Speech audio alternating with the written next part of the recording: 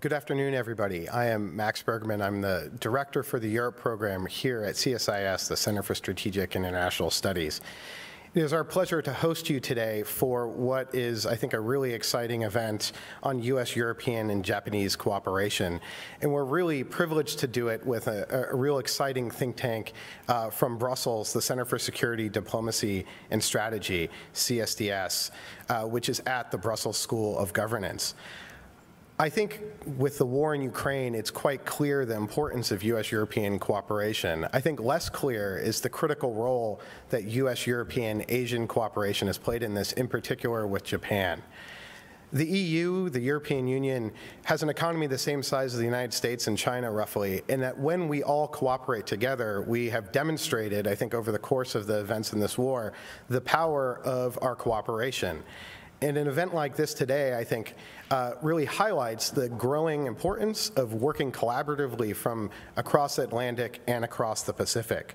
Uh, today, we have an excellent panel of experts to discuss how EU, US, Japanese visions for the region converge or differ, because there are some differences, and it's important that we uh, as a community, uh, as allies and partners work through those differences, as well as find ways that we can cooperate further.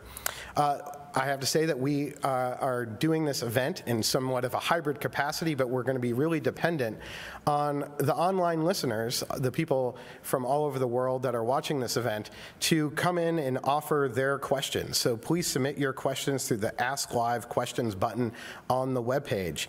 Uh, and it is my privilege now to turn it over to uh, our colleague and partner, Luis Simon, uh, who is the director of CSDS uh, and uh, who, at the Brussels School of Governance. And he's also a visiting fellow, at least for the next week, uh, with the Europe-Russia Eurasia program here at CSIS. Uh, it's been a pleasure working with Luis, and, uh, and we, it's a great honor for us to be hosting this panel today. Luis.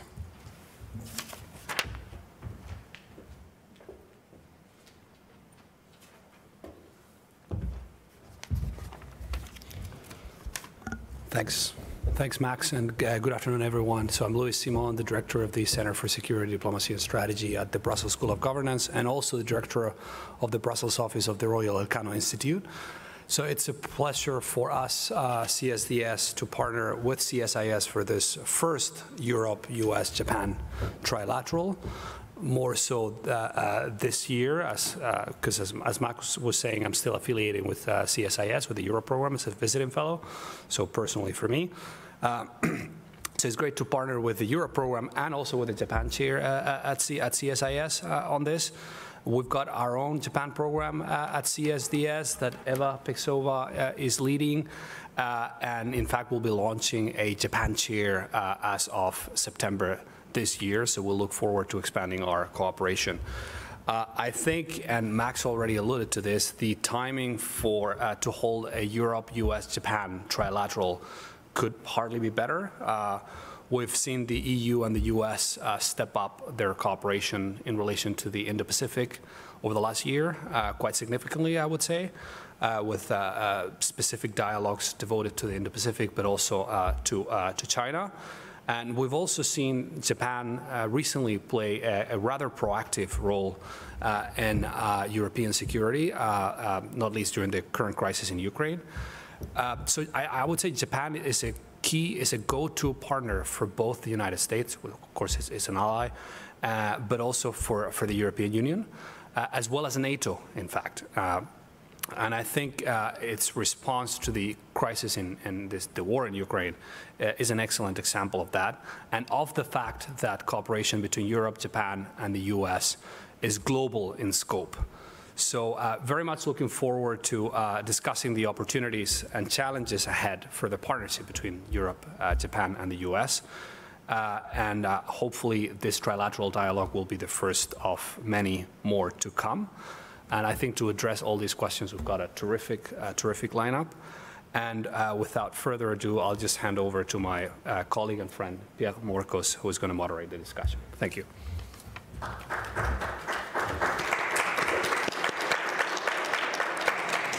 Thank you so much, Luis and Max, for these uh, kind remarks. Uh, my name is Pierre Morcos. I'm a visiting fellow with the Europe, Russia, and the Eurasia program here at CSIS, and welcome to this CSIS CSDS joint event on US, Europe, Japan cooperation in the Indo-Pacific. To discuss this fascinating topic, we have a, stellar panel which will provide us perspectives from Brussels, Tokyo, and Washington on, this issue. First, let me introduce you to Dr. Eva Pejsova, who is a senior Japan fellow at the Center for Security, Diplomacy and Strategy, CSDS of the Brussels School of Governance, but also an, associate fellow at the French Fondation pour la Recherche Stratégique. Then we have the pleasure to have Professor Yuichi Hosoya, who is a professor of international politics at the Keio University in Tokyo, but also holds many think tank positions in renowned uh, Japanese think tanks. Finally, we have the pleasure to have Dr. Michael Green joining us on the screen, who is a well-known senior vice president for Asia and the Japan chair at CSIS and the director of Asia Studies at Georgetown University. Thank you for the three of you to join us. So we're here to discuss the potential for trilateral cooperation between Europe, the US, and Japan in the Indo-Pacific.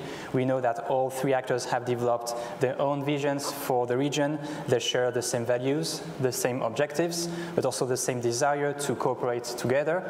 And it has been striking to see the intensification of the cooperation between uh, each of these actors over the past few months, with the US and Europe launching their own Indo-Pacific dialogue, with President Biden visiting Tokyo in a couple of, of weeks for a bilateral summit and a quarters, quarters uh, uh, quad leaders meeting. And finally, uh, an EU-Japan summit in a couple of weeks also in Tokyo. But the missing piece seems to be a true trilateral cooperation between these three actors, and we're here today to explore the prospect for that. But let me begin by a broad question to the three of you. Uh, what is your sense of the convergence between these three actors when it comes to their strategic visions for the Indo-Pacific region? And maybe uh, Dr. Eva Pejsova, you could uh, start. Thank you. Thank you. Thank you very much, Pierre. And I should uh, start by um, you know, saying that I'm sincerely uh, grateful and, and, and, thrilled to be here and to be having this conversation. So many thanks to, to CSIS for hosting this event. Um, because um, well, over the past year, at least uh, as part of the Japan program at the CSDS, we actually saw a particular value of, of exploring this trilateral dynamic uh, as, as, a, as part of furthering actually EU-Japan ties in the first place. So we've held a dialogue with, uh, or a trialogue with Australia, with India, with ASEAN. So obviously the United States um, should have perhaps come first because it seems that it's, it's clearly one of the most valuable uh, or perhaps the most valuable uh, in here. Um, and I personally actually think that there is a high potential that has been greatly underdeveloped still. Uh, and I couldn't agree more with our uh, two opening uh, remarks uh, that the time is ripe. I think that there is a very particular political momentum that has been uh, driven, I'd say, chiefly by three transformations, I would say. Um, the first is the transformation of the EU as such uh, as a geopolitical actor in Asia and, and globally, but mostly in Asia. We'll, we'll talk about the strategy in a bit. Um, the second transformation is the EU-Japan one, and, and, that's the one that I've been looking at uh, more uh, closely, but, but that's really a great leap forward that we can observe over the last five, but even more two years ago. And the third is um, the deeply transformative effect that the Ukraine crisis has had uh, on, on um, at the systemic level, if you want, on kind of democratic coalitions uh, and, and, the things that we can do uh, together. But uh, coming from the European perspective, I really think there has been a, a bit of an awakening moment that we talk about since roughly 2016, but even more so, um, let's say since 2019 where uh, Europe realized, and, and, it's been often quoted, uh, that Asian um, security uh, is something that we depend on, that European prosperity is dependent on Asian security, and therefore Europe should be proactively watching it and be a player. Um, the second awakening is China. Uh, Uh, China has been, for the longest time, uh, seen as a kind of a distant opportunity more than a challenge. And frankly, that has been a little bit of an obstacle in, in furthering this trilateral uh, cooperation because uh, Europe was seen as being too close to Beijing uh, from Washington and even from Tokyo on the one hand, and, and seen from you know other Asian countries, it was just being too close to the, to the United States. So what it has to add. So having a Europe that is more mature as a geopolitical actor is, is, is important because suddenly we have a partner that is worthy uh, to work with, both for Japan and for the United States. Um, so this whole you know, idea of having a not just geopolitical actor, but a more independent uh, far from talking about strategic autonomy that we talk a lot, uh, a lot about, but yes, it is now the publication of a strategic compass. We now have an Indo-Pacific strategy that we waited for uh, a long time, and we can talk about it uh, a little bit more later, but Europe is a partner and an independent partner to work with. The second transformation is, is, is really the EU-Japan ties, uh, taking off uh, significantly under, under uh, Prime Minister Abe's, with, of course, 2018, the Strategic Partnership Agreement, the Economic Partnership Agreement, Connectivity Partnership later on, and in three days, the EU-Japan digital uh, partnership that should be signed at the EU-Japan summit. And again, we talked about it a little bit this morning. Um, the Ukrainian uh, crisis has accelerated the, the, diplomatic connections between the two in a, in a rather amazing way um, and has given an extra impetus uh, to, to, the bilateral but also trilateral uh, relationship. And never the, the, the perception threat uh, has never been so um, close, if you want, between the two. And in a way, it really bridges uh, the Indo-Pacific and the European theater, as, as we discussed uh, quite extensively this, this morning. Uh, everyone has been surprised to see the, the Japanese uh, reaction to the crisis. I think the European reaction to the crisis was, um, you know, demonstrating that we can move beyond rhetorics, which is something that Europeans have been quite, you know, criticized most of the time, that we're from Venus, that we talk too much, but here we are trying to actually move on with things. Um, and yeah, so I believe that there's basically a unique momentum that sticks us together, and we should definitely definitely use it. And we can perhaps discuss afterwards uh, how mm -hmm. exactly. But yeah. Yeah, we'll get into to yeah. the details indeed uh, later on. Uh, thank you, Eva. Uh, Professor Hosoya, what is the Japanese perspective about Europe growing engagement in the Indo-Pacific region, and how is do you see a form of convergence between the strategies, and to what extent? Well, thank you very much indeed, uh, Pierre, for your kind introduction and a good question. And I'm particularly uh, glad to be with both Eva and Mike, uh, two uh, great strategic thinkers and great experts on Asia and Japan. And uh, I'm particularly glad to talk on this topic because trilateral cooperation among three, uh, United States, Europe, and Japan, is much more vital than before. Uh, in a time of the crisis, in a time of transformation because uh, we are, I mean, we all three are in defensive, and we are often talking about the recession of democracies, liberal democracies, and also we are talking about the rise of authoritarian regimes. So the Ukrainian war more or less symbolizes this trend, whether the authoritarian regime can win over democracy, I mean Ukraine, know, further, uh, the solidarity among liberal democracy can effectively respond to this challenge. So we are tested, and we need to present good answer to the challenges. And I will focus on Japanese role and the Japanese policy or strategy uh, in responding to these challenges. First, I want to, I want to talk about how Japan valued the trilateral cooperation among the three in facing this war. And then I will also like to talk about how Japan has been promoting trilateral cooperation in Japan's free and open Indo-Pacific vision. First, uh, when we think about trilateral cooperation, we have to realize that there is no such real concrete entity of trilateral cooperation. It's a kind of a collection of three bilateral corporations. Cooperation between Japan and the United States, cooperation between Japan and the EU, and transatlantic alliance, transatlantic cooperation. If we assemble these three bilateral corporations, we can see the reality of trilateral corporations. But we may be necessary to uh, create much more powerful, much more uh, robust trilateral cooperation in a time of crisis.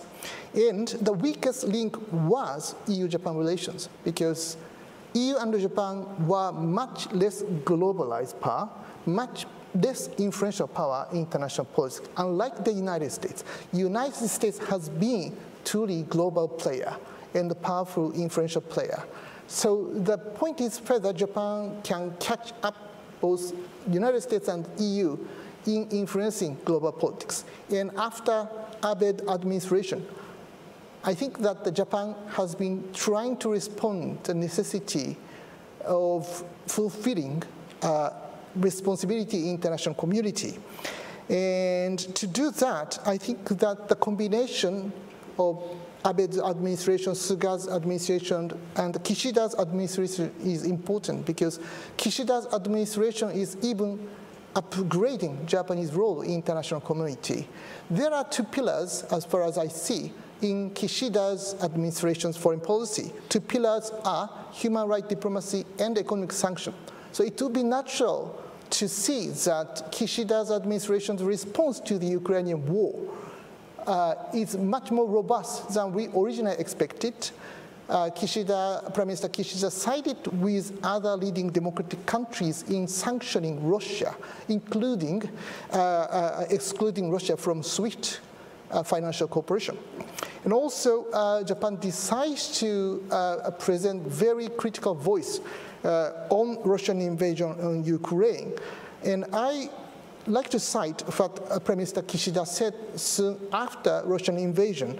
Uh, Prime Minister Kishida said on February 25th, uh, the next day after Russian invasion began, he said, quote, that it is an infringement of Ukrainian sovereignty and territorial integrity and constitutes a blatant violation of international law. As an act of that, uh, as an act that undermines the very foundation of the international order, it is unacceptable and I condemn it in the strongest terms, unquote. So Kishida, Prime Minister Kishida's voice was much stronger than what Prime Minister, Prime Minister Abe said in 2014 when Russian government annexed Crimea Peninsula, because uh, at the time, there was a hope that Japanese government could advance economic cooperation with Russia. So in that sense, I think that uh, Prime Minister Kishida took much stronger stance in sanctioning Russia in this current crisis. So in this sense, I think that uh, we can see some sort of transformation of Japanese foreign policy from the original Yoshida doctrine, which focuses on the importance of expanding Japanese economic interests to the current, much more value-oriented diplomacy. To understand deeply about this transformation, I recommend you to read Mike's newest book, The Line of Advantage. He wrote brilliantly on, yes, he has it in his screen. Uh, he, uh, I think, uh, profoundly uh, focus on the importance of transformation of Japanese diplomacy since Abe's administration. So to under, by, by understanding it, I think that Japan is trying to catch up the other two entities, United States and Europe, in consolidating uh, cooperation among liberal democracies. So in that sense, I strongly uh, uh, uh, like to focus on the current transformation of Japanese policy. And, and then I'd like to end my comment by saying that it is also important to understand that within each society, within each country, we have our own weakness. We are much more divided than before in each country, and we see ideological confrontation in each country, and also we see some doubts in each country on the future of liberal democracy. That's why we have to present the strength and the value of liberal democracy by ourselves to our audience, to our own people as well. So each country has homework, EU, Japan, the United States, each entity, each power has its own homework to present the strengths of liberal democracy. And also, we have to also present the strengths of our own economy, our own technology, our own society. To do that, we need more cooperation in technologies and digitalization and of course economic growth and so on. So in that sense, I think that we need more agenda to enhance the cooperation among the three bilateral corporations. Thank you so much, Professor Hosoya. Now let me turn to, to Mike. Um, um, the Biden administration has recently released its own Indo-Pacific strategy, which is clearly uh, allies by design with a strong focus on, on the, the importance of partners and allies across the Indo-Pacific. Could you elaborate more on the specific expectations of, of Washington regarding Tokyo and Brussels when it comes to uh, promoting a free and open Indo-Pacific? Well, Thank you very much, Pierre. Um, ironically, I'm the CSIS guy on the panel, and I'm not there. So apologies for that, but I, my schedule today is a little crazy. Um, so I think the Biden administration um, intends to uh, strengthen its alliance cooperation in the Indo-Pacific even beyond what the previous administrations had done, and and wants to bring um, uh, more um, alignment between the U.S. and Europe after estrangement in the Trump administration. So those are their big ambitions. But honestly, I think that the real question is what do Brussels and Tokyo want from the Biden administration? Because when you look at the Indo Pacific strategy, it hits exactly the right conceptual framework for um, managing um, dramatic geopolitical change. And um, basically uh, protecting um, our values and our interests in an open uh, regional order free of coercion. It does all that, but it has two big weak points, which um, are areas where I think, frankly, Brussels and Tokyo um, can and should uh, be pushing the administration to do better. The first is trade. The Free and Open Indo-Pacific strategy makes reference to a Indo-Pacific Economic Framework, IPEF, which will be announced, uh, we expect, when President Biden goes to Japan later this month. But most people who have been following this, including our friends in Tokyo, uh, think that it's very thin, that it really doesn't include market access. It's pretty thin on, on rulemaking, a very poor substitute for the U.S. withdrawal from uh, the CPTPP. And I'm quite certain Prime Minister Kishida um, and others in the region will be telling Joe Biden, this is great, this is a first step, it's not enough. And then the second area, frankly, is when you read the um, Indo Pacific um, strategy, which is a well constructed document overall, it, it lacks a longer term vision for how the United States will live with China. Uh, what does the United States think about investments in China? Uh, should we be protecting our businesses or getting them to pull out? What do we think about cooperating with China on uh, areas uh, in the Indo Pacific, not just climate change or North Korea, but in Southeast Asia? These are areas where there is no consensus within the administration and, frankly, no appetite to say something right before a midterm election in the U.S. that will feature a lot of um, pretty, pretty tough, appropriately tough um, political rhetoric about China. Um, when you look at the EU strategic documents, or in Japan, most recently, the Liberal Democratic Party's strategic vision, they're premised on pushing back against Chinese coercion, protecting our values and interests, writing the economic rules, but not decoupling from China. And while the U.S. Indo-Pacific strategy doesn't explicitly call for decoupling, it's just a great big empty space in the strategy that's going to be filled, I think, with um, intensive dialogue with Japan, especially, with our other Asian allies and with Europe. So there, th there's homework uh, on the U.S. side. And let me just quickly, um, just quickly um, uh, pick up on the excellent comments from uh, Yuichi and Eva. I, I think they're right on target. Yes, um, Chinese coercion, the Ukraine crisis, Japan EU diplomacy has all explained this transformation. But I would actually go even one step further and say what explains this transformation is Japanese leadership, Japanese thought leadership. It was Japan that held, and Abe that held the G7 together, not only in the Trump years, but during friction in the Obama years. Um, it's Japan that has started to define earlier than anyone what digital trade should look like. The EU Japan Digital Trade Agreement, IPEF, it's Japan that's pushing hardest for um, global rules uh, driven from the conning tower of the US from Brussels, Tokyo, and Washington. Um, it's Japan that stepped up and led on the G7 uh, punishment of Vladimir Putin, but also reached out to other Asian countries and global South, and Japan that brought Taiwan into the G7 dialogue. So I agree with everything that was said, but I, I, I think we may want to give even more credit than we have uh, to Tokyo for actually being um, the thought leader that's holding together the transatlantic relationship in many ways, not just catching up, but actually moving us all forward together. Thank you, Mike. Um, now I would like to, to zoom in and, and, discuss with you uh, concrete area, areas where there could be uh, a trilateral cooperation between uh, the US, uh, Europe, and Japan. Um, and I think it's important to have a pragmatic approach and think about tangible issues where we could foster this cooperation, and also think about the framework of such uh, cooperation. Uh, Professor Hosoya, you mentioned that for the moment we have a collection of three bilateral cooperations. How can we uh, go a, a, a, step further and think about a trilateral uh, format? So, so maybe you could pick one or two areas where we could have a, a greater trilateral cooperations where there is the most promising uh, uh, potential. Uh, Eva, maybe if you can, yeah. can start with um, you. Uh, just kind of more generally on, on, on, cooperation before I get mm -hmm. to the areas, but I think um, there's two strands. There's the political strand and there's the practical one.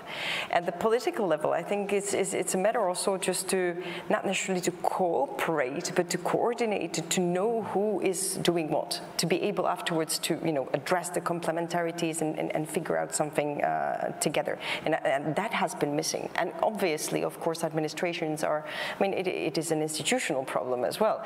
Uh, if an administration is working on Asia, who, you know, why your department should be actually discussing with Europe, etc. I mean, and that's a problem with all administrations. But just to have a regular, um, you know, established uh, connection link, working phone line, kind of a working habit mechanism, just to, to keep each other's um, informed about what you're about to do, how you're engaging with the third parties, etc. I think would be, uh, you know, a very very basic, nice uh, first step.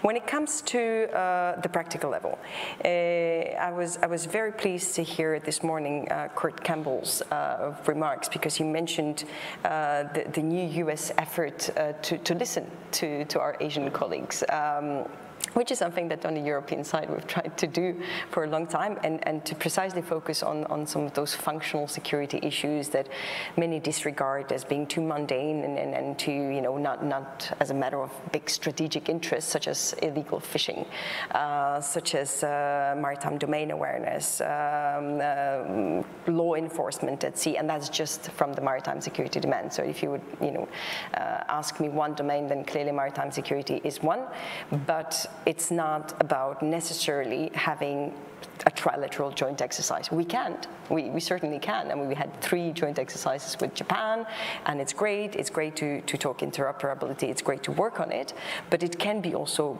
you know, these areas. So this morning, just to, to recap for those who have not listened, uh, Kurt Campbell's um, remarks, we, we talked about the Pacific Islands, and we talked about the need to, to improve maritime domain awareness. And it, frankly, to, to me, it was, it was music to my ears, because this is exactly what the EU has been doing doing for many years, and in fact, it's an area in which it has been recognized and very much appreciated by, you know, a, a lot of Asian partners in the Indian Ocean uh, region, and something that we've been trying to expose because it's an area that is very much demanding on, in multilateral cooperation. So if there is something that uh, Europe can bring to the table, it is, of course, the, you know, the, the nitty-gritty, uh, boring, um, multilateral way of, of uh, dealing with things and where else than in maritime security. Uh, a second area, I would say, well, at least from the European perspective, anything that deals with norm setting, either digital, of course, and that's a big area I think that will take off between uh, with the EU, Japan, but also um, with the US, digital, uh, green transition, all these uh, norm setting in, in, in, in, those areas that really need to be um, governed by, by norms. And again, that's something that the EU can bring to the table. Um, uh, there's quite a few. I would say connectivity, addressing the global south. These are all the things that we discussed this morning that I really think that need to be need to be uh, approached in coordination at least. So connectivity really, again, is, is a very broad topic. Uh, all three partners work uh, or have their own connectivity strategy pretty much in the same area, ranging you know, from Southeast Asia to South Asia to Africa, all over the place. So yeah, a minimum would be to, to have a, a kind of a reliable uh, coordination mechanism to see that we are not stepping on each other's toes um, and that we create together a sort of a healthy competitive environment when it comes to these um, connectivity or investments in, in, in infrastructure in those regions, that we you know, lift the tide and, and are not uh, leaving it all to the Belt and Road and, and to China in that sense. So it's, um, yeah, if, if I pick three, then it would be those three. Great shows, and thank you for, for, your, for your detailed answer. Uh, Professor Hosoya? Yes. Uh, first of all, uh, we have seen in the last several years uh, the decoupling between the United States and China. And many business companies in Japan, United States, and Europe have some concerns, show some concerns, and in which area they have to change their attitudes in their business. And uh, because these are not very clear so far. So that the decoupling has been targeted and partial, but we do not know clear lines of those partiality or those targets. So first of all, uh, the three parties, the United States and Japan and the European Union, need to coordinate their policies. And between the United States and Japan, Last year in April, Prime Minister Suga and President Biden agreed to launch a new initiative of DFFT, uh, sorry, a, a, new initiative of core partnership. Core partnership focus on the importance of enhancing both uh, competitiveness and resilience by the two countries, United States and Japan. And this is a quite important initiative, and this kind of concept and initiative should be shared by all the three parties and like connectivity strategy as well. Both EU and Japan share important strategy of connectivity. That's why they can collaborate to link each sub-regions. And also the concept of FOIP is also shared by the three parties, United States, Japan, and the European Union. So there are many important initiatives. And uh, I think the important thing is these initiatives should be shared by all the three and to be fully understood. And there are some other unilateral initiatives such as AUKUS or QUAD and so on. These unilateral cooperation can both enhance or endanger trilateral cooperation. And I think that the reaction of President Biden soon after the launch of AUKUS to explain to President Macron was very good initiative, not to uh, maintain some of the doubts among Europeans or among French people. And soon after the ex ex explanation by President Biden, I think that uh, President Macron or European people have much clearer understanding about why the United States uh, felt it necessary to launch a new initiative. So these new initiatives should be shared by the, all the three and should be fully understood among the three and should be coordinated among themselves. And DFFT, data free, free flow with trust, is another example. There are many new important initiatives among the three uh, by, by, each players. And I think that one of the important things uh, is that there are three different bilateral relations, bilateral cooperation. That's why we need to see the coordination among the three individual uh, bilateral cooperation. Thank you. Uh, Mike, let, let, me turn to you. Uh, if you had to pick up one or two areas where Japan, US, and Europe should coordinate more their actions or even cooperate, what would there be?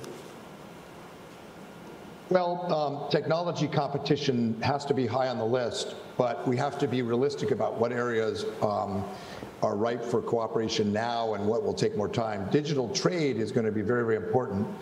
Um, but, but I, I, think that the US uh, European relationship is too fraught with disagreements over the nature of big tech, uh, privacy, and so forth, for us to be effective standard setters uh, early on. I think that's going to be a, a, Japan dialogue with the EU and a Japan dialogue and other U.S. allies with the U.S. through IPEF, Indo-Pacific Economic Framework. And in time, frankly, the transatlantic relationship will catch up with the Europe-Japan, uh, US-Japan relationship. But there are other areas in technology where the US and Europe um, uh, and Japan can move quite quickly. So one would be 5G. Um, how do we regulate access to 5G? How do we create um, no, uh, regulatory standards for a 5G uh, um, uh, policy across democracies that protects our infrastructure and our civil liberties? Um, and another would be investment screening. Um, how do we make sure we have consistency uh, in our strategic uh, screening of foreign direct investments, particularly from China, but, but that, that don't actually catch US, Japan, EU investments. So those are two ripe areas within technology, but others like digital trade, even within the US, there's, there's not a consensus on this. Within the White House, there's not a consensus on this. That will take more time, even though it is very important. Um, another related area would be economic coercion. Um, China's um, embargo against Korea, against Australia, Canada, Lithuania, um, you know, initially countries like Korea or Australia um, or Canada wanted to handle these on their own. They didn't want help from other countries because they thought they could finesse the diplomacy with Beijing. I don't think that's the mood anymore. I think the next time we see significant economic embargoes or coercion by Beijing against uh, a, a, democracy, um, the U.S., uh, EU, Japan, and other U.S. allies in Asia should be moving together. And to some extent, that's declaratory policy. To some extent, it may be countermeasures, but that's a menu that we really need to be examining because um, Beijing continues using this tool um, and uh, not paying a price for it other than reputationally. So this is an area where I think all three, uh, Brussels, Washington, and Tokyo, um, uh, can and should move pretty quickly. There are complexities. Um, we're wargaming these at CSIS. It's very hard to actually, for example, tell Americans don't buy, uh, don't export wine to China because we should help Australia. In a free market, it's hard to do some of these things, but other aspects, countermeasures and so forth, um, we should be developing as a toolkit together because we'll be more effective together. And so far, China's been picking off countries one at a time to punish, and we, we need to put a stop to that. Thank you, Mike. Uh, let me stay with you, and I would have a question about the initial lessons learned from the war in Ukraine on this trilateral cooperation in, in the Indo-Pacific. Uh, the level of, of, joint action between Tokyo, Brussels, and Washington on Ukraine and Russia has been quite remarkable in terms of uh, coordinated sanctions, uh, joint cooperation on energy to help Europeans uh, phasing out from uh, their dependence on Russian oil and gas. But what about potential lessons learned from their cooperation in the Indo-Pacific? Uh, would you have thoughts on, on this, Mike? It's a really good question, Pierre. And I think, you know, the silver lining of the Ukraine crisis is the remarkable degree of solidarity among leading democracies on all sides of the globe, which you can be sure came as a shock to Putin, but it also came as a shock to Xi Jinping. And uh, China is aligning with Russia, but it's not allying with Russia. Um, uh, Xi Jinping is doing whatever he can to prevent Russia's failure. Uh, as long as those measures don't expose China or Chinese companies to sanctions or um, SWIFT uh, sanctions or things like that. Uh, but the alignment is quite clear, and I think shocking to Europeans. Um, so the Ukraine crisis has created this enormous um, demonstration effect that free uh, people, that democratic governments, certainly the advanced ones, will come together if there's a global crisis. This is helpful for Europe and helpful for NATO. And as I said, Japan has really stepped up and has led and set an example for other key um, Asian uh, players like, uh, like Singapore and Korea and Australia. Um, and um, uh, by the same token, in the Western Pacific, as I heard from the Taiwanese leadership when I was there uh, about a month ago, this has demonstrated how important Europe is to the security of Taiwan, Japan, Korea, Australia. Um, not, not because NATO will dispatch, large numbers of forces, not because of the military deterrent, but because of the dissuasion effect. The, the, the fact that global solidarity against um, unprovoked and illegal aggression, that this can impose a major geopolitical and economic cost on a country. Putin's finding that. And it's more difficult with China. China's more, we are more interdependent with China than we are with Russia. But by the same token, China is therefore more vulnerable um, to any degree of punishment or decoupling. And uh, I could see that happening on the technology front, for example, should China use force. So um, th this is very, very powerful as a dissuader, um, uh, as something that will complicate Chinese planning about when and how it can use force. That said, we, have not really thought about it very much, and we do need to have more dialogue um, trilaterally about how we think about the lessons of Ukraine for dissuading um, uh, future um, actions or potential actions uh, against uh, against the next Ukraine.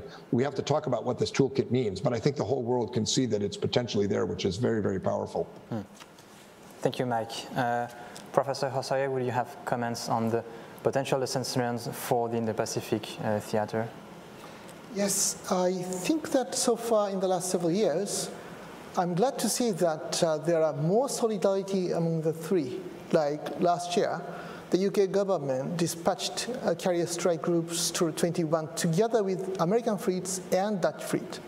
And this shows the solidarity among the three, I mean the United States, Japan, and the European countries, in trying to resist to encroachment of Chinese uh, uh activity around the area, both Taiwan Straits and Senkaku Island and so on. So uh, uh, maybe a decade before, it seems to many Japanese people that sometimes Europe was sided with China by focusing on the importance of historical issues because China rejected the argument that that Senkaku Islands on Taiwan issue are not security issue or a geopolitical issue. But China was arguing that these are historical issues historical issues. That's why China was criticizing Japan that Japan was once again trying to invade China or to try a war or something. But now many people fully understand that this is a geopolitical sovereignty issue. And we need to uh, prevent the uh, forceful uh, a, a change of status quo by China. So uh, we have seen new situation in which uh, China is much more advantageous in uh, global uh, balance of power and regional balance of power, particularly in the area, and uh, uh, with much stronger uh, solidarity among United States, Japan, and Europe. I think that it will be more difficult for China to try to change the status quo around the area. So this is a very good move, and we need to maintain, even though we see, we have seen the rapid rise of Chinese military power, but still, uh, we need to resist to any encroachment of, uh, uh, by, by China around the area, particularly in the Taiwan Strait and the Senkaku Islands. Thank you. Eva, will you have thoughts?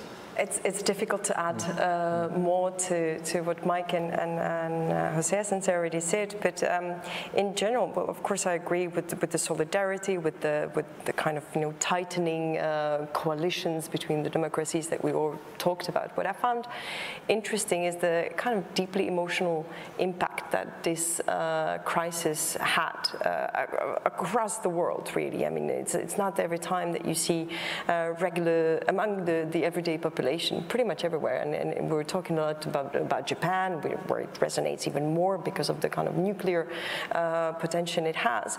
But also in, in, let's say, rural areas in Myanmar and Vietnam, which would be traditionally not necessarily anti-Russian countries, quite the opposite. But the whole uh, idea of having a, a big bully, basically, a, a big power bullying a smaller, uh, is adding another dimension to, to, this, uh, to this conflict. So it's not just about you know, Russia versus, or Russia or China versus a smaller, but it's also the big versus small, which really uh, resonates a lot uh, across the Indo-Pacific. So, um, so yeah, it, there's probably a silver lining, I guess, in a, in a kind of global more consciousness. Everyone, it's, it's not, um, it's, it's leaving no one indifferent, it seems, that it's appealing always uh, to, to some part of population or to some countries in perhaps a different way. So uh, when we talked about engaging with them, and I don't like the word global, global south or, or, or the third world really, but uh, the majority of those countries actually, or a big part of the countries that we saw on the United Nations vote map that you know was not read. Um, I really think that there is an important um, homework or, or soul searching or uh, coordination or we're talking about how to really engage better and communicate better because I think the momentum this crisis has really cre created also a momentum to change perhaps our own approach or communication with this part of the world and, and that's what the next playground is. Thank you Eva. Um, now I would like to, to, explore with you the potential stumbling blocks in, in this trilateral cooperation and maybe discuss the areas where there is still divergence between these three actors and where there is not enough maturity to have a clear uh, coordination or cooperation. Uh, I, I, think that Mike already mentioned the, the, the, the trade issue, but there might be others. Uh, maybe Eva, if we could start with you about potential hurdles in, in this cooperation. I'm starting to think. Um, I know when we were discussing informally, we mentioned Taiwan, but I'm actually not sure if really that is such a big stumbling block. I think it's it may be a perceived difference, at least uh, you know at the transatlantic level. I think it's just that perhaps on the Europe we talk about it less. Uh, but when you see um, the position, you know, really has changed a lot over the last couple of years. We see the European Parliament being extremely vocal and supportive of the Taiwanese cause. Um, we see the EU supporting the Lithuanian uh, case at the WTO, for instance. I really think that there, that part of, of European policy is changing um, dramatically as is deteriorating also the, the public image of China in, in Europe. So that's kind of proportionate to that. Um, obviously, uh, what Mike said about the trade and technology, that, that may be, uh, you know, the, the, the something that needs to be solved at the bilateral level uh, with, uh, with the United States. not sure if that's something that can be your problem should be addressed at the at the trilateral level. Um, yeah, so that that's probably it. Professor Hosoya? Yes, uh, generally speaking, I feel that each country is not quite ready to sacrifice their own each national interest or economic business interest to, to, to support some of the important principles in international order. So they are opposing Russian invasion, and they are criticizing Chinese violation of human rights, uh, like Uyghur and Xinjiang and so on. But uh, at the same time, they are not quite ready, it seems, to, to, to sacrifice their own interest uh, by, by sanctioning quite deeply and effectively in some areas. But on the other hand, I have some hope, and I, I see some quite a, a, a, a, new movement in the last several months. Like, uh, unlike my previous expectation, the European Union radically changed its energy policy to try to reduce its dependence on Russian natural resources. Uh, it's quite deep and radical. And uh, the first day, German government didn't really like to uh, radically transformed the previous policy towards Russia. But because of the very strong criticism from within, in a day or two, German government uh, rapidly uh, uh transformed its own policy towards Russia. So uh, we have seen some of the new moves. And as I said, uh, Kishida's administration is quite radical in changing previous Japanese policy towards China or towards Russia by sacrificing some of Japanese economic and business interests with China and with Russia, because Kishida administration really value uh, the importance of basic principles in international order. Uh, so that's why I think that uh, EU and Japan are trying to, uh, ready more or less, to sacrifice some of the important economic and business interests to support a rule-based international order or to support, to defend some of the important principles in international order. So this is a new new, but still, there are so many countries which are not quite ready to sacrifice their own interests. And there will be very strong criticism with, from within if the government or political leader decides to radically change or radically damage some of the interests of each country. So it has to have a very strong political foundation. And it has to have a very effective strategic communication to persuade their own people. Otherwise, while criticizing each action of Russia or China, but still they maintain, they, or they tend to maintain the previous policy in maintaining a very strong, deep economic business relationship with both Russia and China. So this is a big challenge, but I have seen some of the bright sides of new changes in each country. Thank you. Mike, let me turn to you. Yeah, I, I would say overall, agreeing with Eva and with Yuichi, the trend lines um, are positive for trilateral US, EU, Japan cooperation. I think one underlying, um, perhaps subtle difference, though, between Japan and Europe is the question of American primacy. I, I, I think polls indicate very clearly, and policies indicate clearly, that for Japan or for Korea or Australia, um, American primacy itself is essential. And I think in Europe, there's still pockets of um, uh, ambivalence, of uh, dislike of American puissance, so whatever it is. Um, and that matters because um, we had a rough patch when Donald Trump was president, and Japan stepped in, Abe stepped in to sort of hold up the G7, make the case for not um, isolating Donald Trump as much as he deserved it. And we could get that again. So um, there is this difference between, I think, the Japanese and European view of global order. Yes, there should be more trilateral cooperation, but I think the Japanese view primarily is still that American preeminence is critical. And, um, and for now, it doesn't show up as an issue, but it could again, which is the second um, problem we have, which is not a problem for Japan, but in the US and Europe, we still have the possibility of a of an ethno-nationalistic or populist leader coming in who disagrees with everything we're saying. Um, you know, Donald Trump was fundamentally opposed to the European experiment, opposed to European integration. He, he famously told European leaders that Europe was worse than China.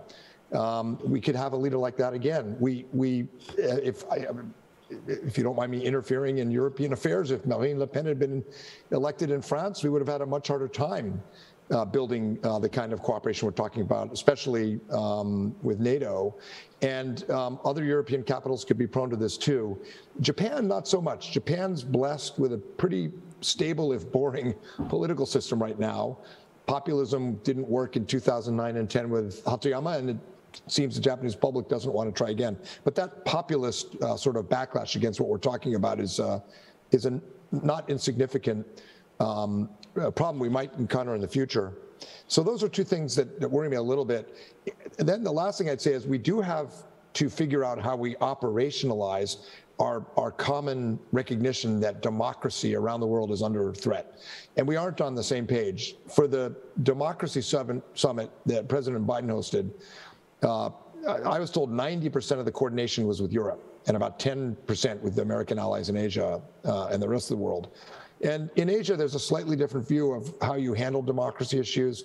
But the bottom line is we need to work together um, and decide how we will deal with um, issues like um, what's happening in Myanmar, um, how we um, coordinate our efforts to support governance and democracy in countries.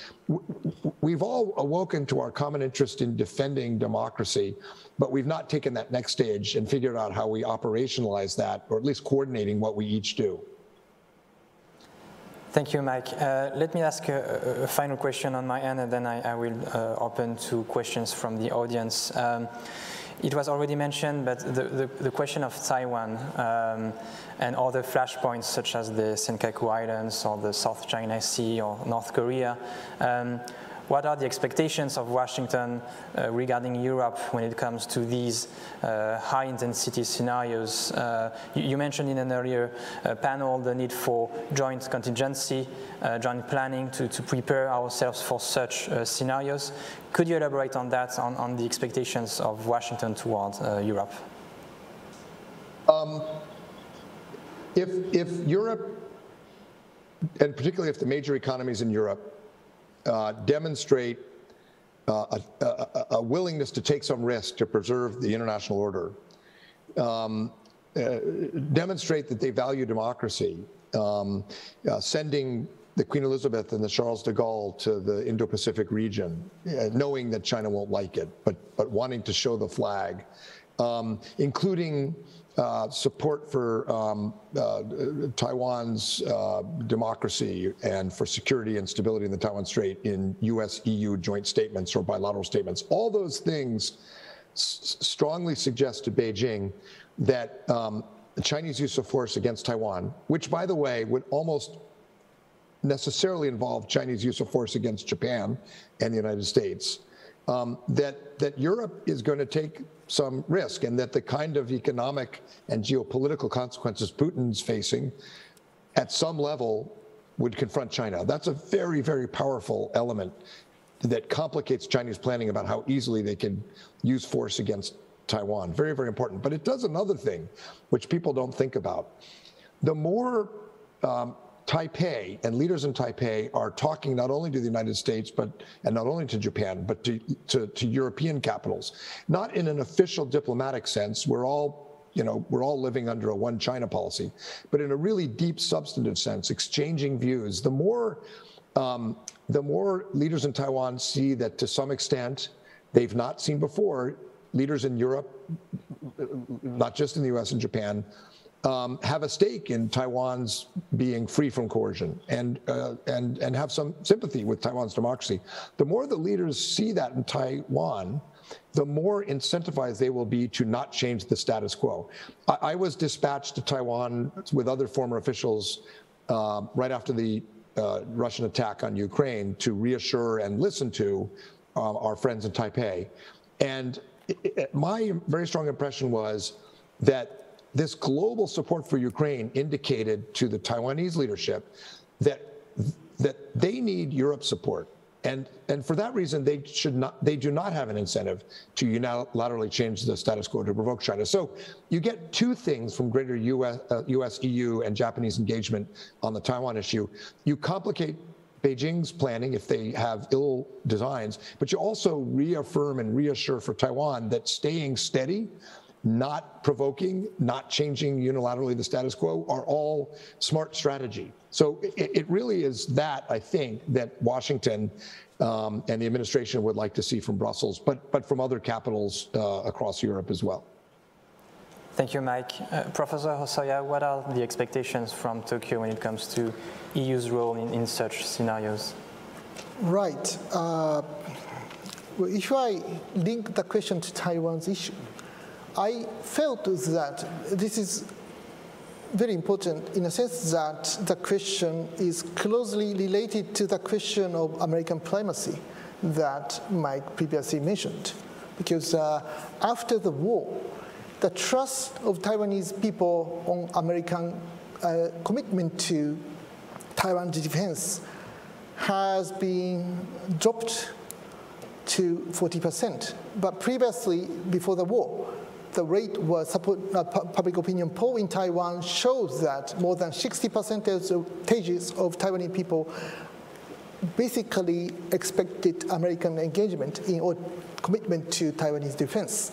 So it means that many people in Taiwan, I felt, thought that the United States would not come to help Taiwan in the case of a crisis in Taiwan, particularly if uh, Chinese government is trying to uh, use the rhetoric of nuclear escalation. Maybe it would be possible that American president or American government official says that, would say that United States is doing everything to avoid nuclear war with China. So the, the, I think that the Chinese government is watching how Russian government is trying to use the rhetoric of nuclear escalation to deny American engagement in the region. So many people say that uh, uh, there are clear distinction and differences between the defense of Ukraine and the defense of Taiwan. But at the same time, I think that China has been learning so many things to try to deny or reject American involvement in the region. And nuclear escalation can be a useful tool to persuade American people uh, to, to, to, to, to, to, to, to take a distance from uh, crashes or war in Asia.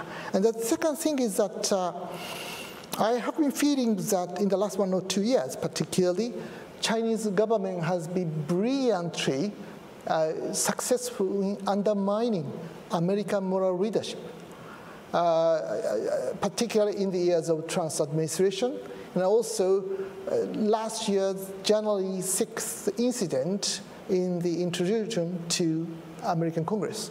Uh, there are several in, in, uh, cases that the uh, Chinese government or Chinese media have been utilizing to undermine American moral leadership in the world. By using these examples, I think that they try to convince Japanese people or other Asian people or European people that United States is not the appropriate country or power to lead the world from the point of view of moral leadership. So uh, it is really necessary, I feel, that United States need to repair or uh, rebuild moral leadership in the world because uh, in the last one to two decades, many people in the world see that the United States has been damaging by, its, by, by herself its own moral leadership in the world. So uh, uh, having considered these uh, uh, factors, I think that in Asia, there are more people who cannot fully trust American commitment to uh, the peace and security in the region. So I think that Japan should also play an important role to convince people in Japan or elsewhere in Asia that United States is a hope to maintain the peace and the stability in the region, not the country which destroys the stability and the peace in the region. Thank you. Uh, Eva, could you tell us if there is an appetite in Europe to think about Taiwan and how they could support uh, Taiwan uh, one way or another in, in a situation of, of crisis?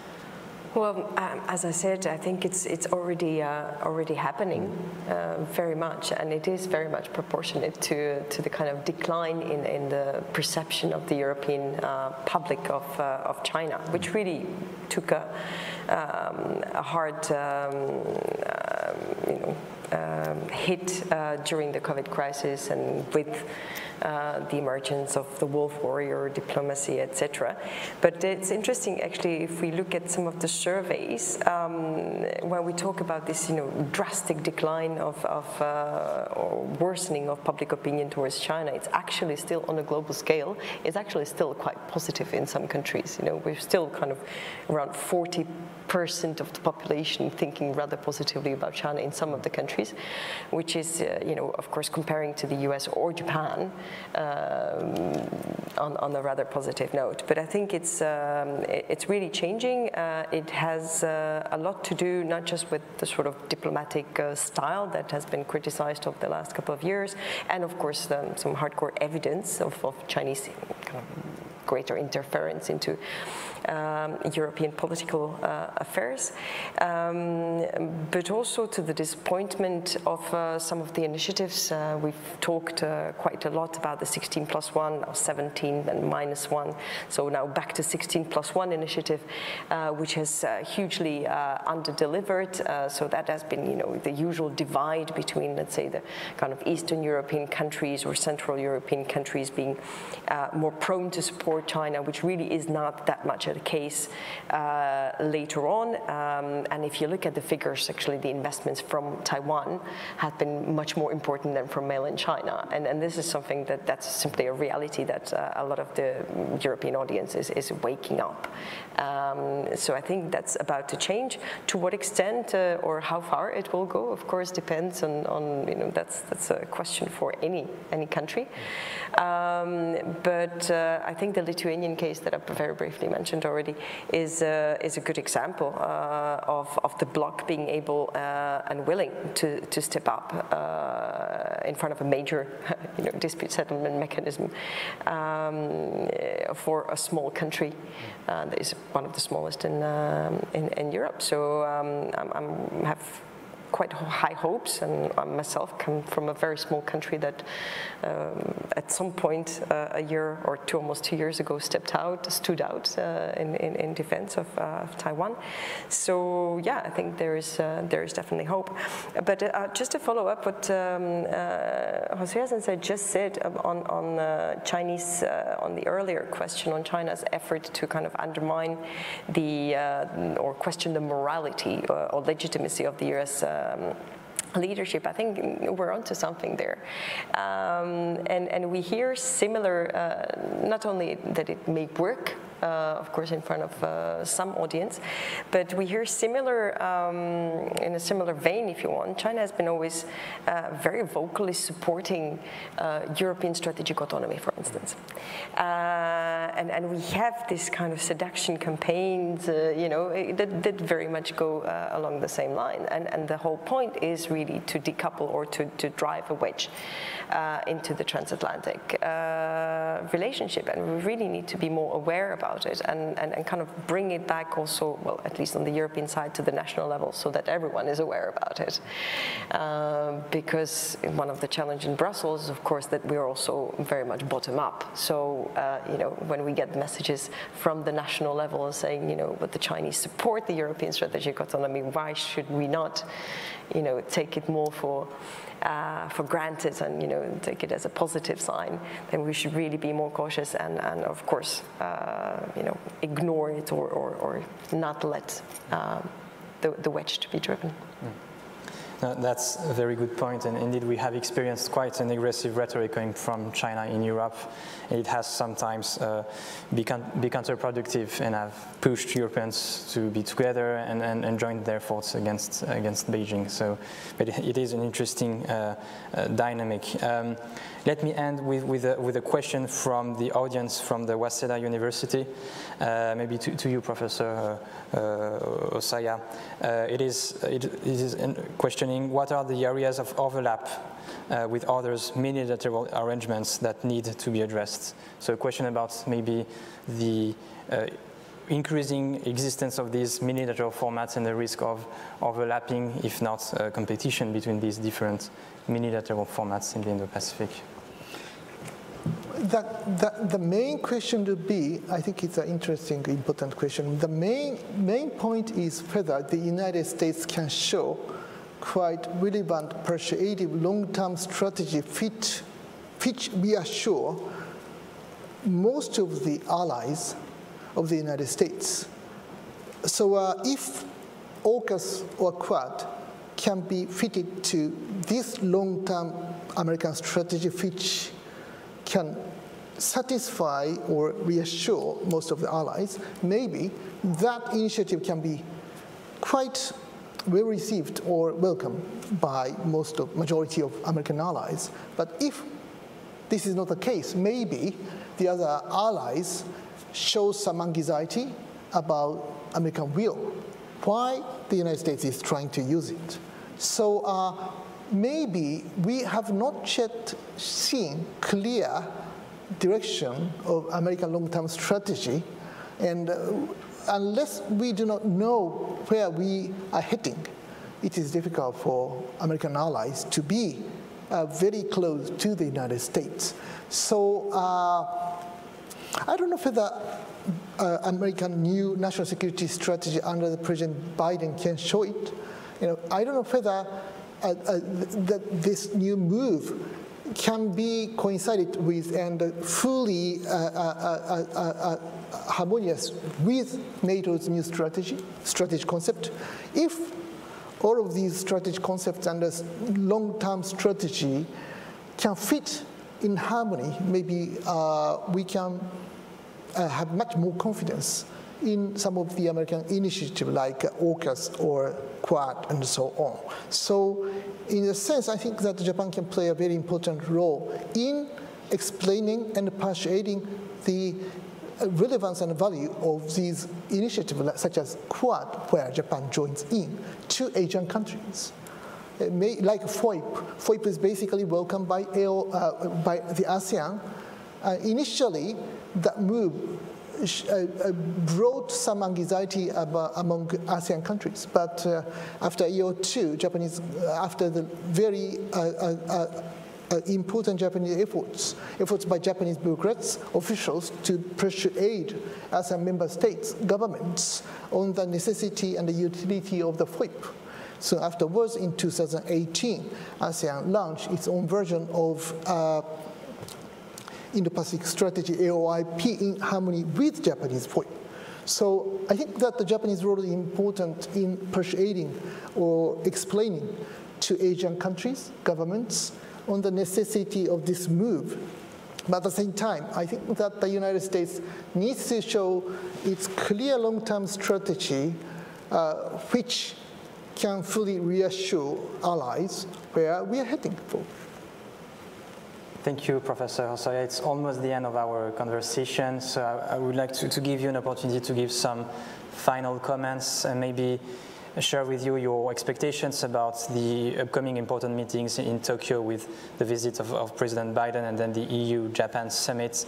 Uh, maybe let's start with you, uh, Mike. Well, I think um, in many ways, um, Prime Minister Kishida is in the driver's seat as the uh, host for President Biden and then um, the main interlocutor for the EU Japan summit. And so uh, I, I, think Prime Minister Kishida is demonstrating a, a very clear vision for a world where democracies cooperate to invest in the resilience of countries that are subjected to elite capture or coercion, but also to uh, strengthen our common uh, defense and security um, and I and I and I I think that's going to come through very clearly. The fact these two summits are having happening with Japan so closely together really does put Kishida in the driver's seat to start to have a, the kind of consistent signal that that that Hosoya Sensei was talking about. I do think we. Um, We'll see the Quad emphasized quite a bit. There's a summit for the Quad when the president's uh, in the region. Um, I think you'll hear him talk about AUKUS. Um, there's also the U.S., Japan, Australia trilateral security relationship. And now I think uh, coming back will be U.S., Japan, Korea with the new government in, in Korea. These are all um, uh, reinforcing security, but they're not yet collective security. So it's a delicate balancing act, and not all countries are happy about them. But at the end of the day, I think they do contribute to a more predictable uh, and stable free and open Indo-Pacific. Thank you, Mike.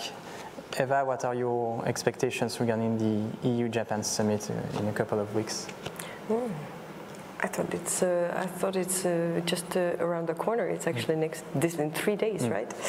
Uh, well, I think it's it's uh, on a very good path, uh, as we saw in the in the last well almost two months actually, or even longer.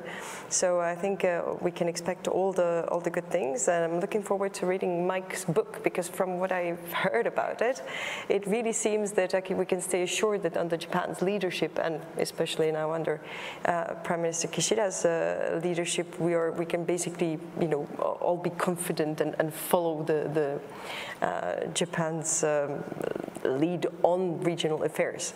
Um, but um, I just wanted to to conclude with a, a thought on on this competition of minilateral formats because I think it's an interesting one. Um, and I think we should not lose sight of what uh, these minilateral formations are, are about, um, and, and, that there are different formats, really, or there are different types of minilateralism. And while, um, you know, originally it should be pretty much problem-solving mechanisms, it shouldn't necessarily be institutionalized too much, and, and, and the beauty of them is as long as they stay flexible and really just focusing on the issues that they're uh, meant to be addressing, then there should not be any uh, over overlap or competition because everyone is fit to address a different issue.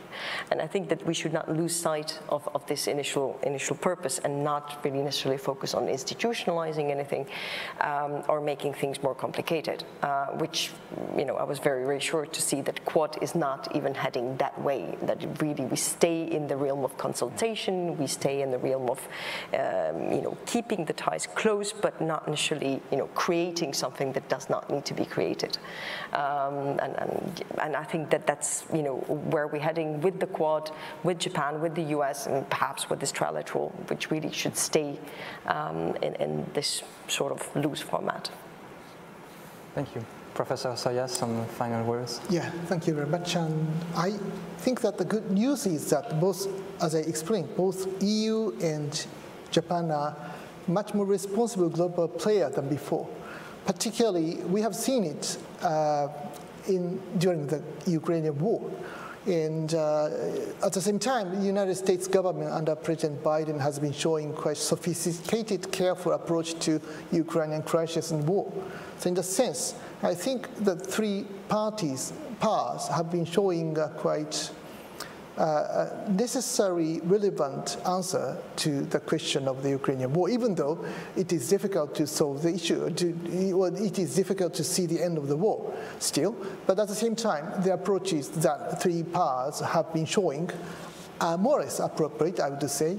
And at the same time, uh, each three bilateral partnerships among the three have their own values.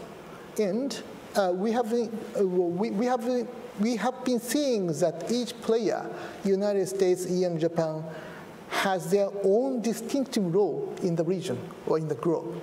And Japan has so many homeworks to do in Asia or in the, in the Pacific region.